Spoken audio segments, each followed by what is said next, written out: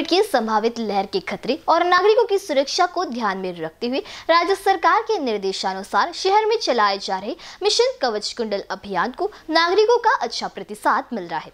इस अभियान के तहत 9 व 10 अक्टूबर को शहर में प्रथम व द्वितीय टीकाकरण की कुल इकतीस खुराकें दी गई। आठ से चार अक्टूबर तक टीकाकरण के लिए शहर में मिशन कवच कुंडल नाम से विशेष अभियान चलाया जा रहा है। इसके तहत निगम की स्वास्थ्य टीम तैयार है। निगम की टीम वार्ड वार टीकाकरण पर काम कर रही है और इसके लिए स्वास्थ्य कर्मी नर्स, डॉक्टर इंटर्न और गैर सरकारी संगठनों के प्रतिनिधि भी सहयोग कर रहे हैं। पहले खुराक तेरह नागरिकों ने 9 और 10 अक्टूबर को मिशन कवच कुंडल अभियान के माध्यम से ली और 18,636 लोगों ने दो दिनों में दूसरी खुराक पूरी की।